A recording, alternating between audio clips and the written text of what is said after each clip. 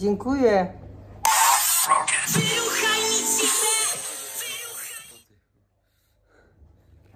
Co? Co to było? No nie wiem, to zająk ustawił takie głupoty. O!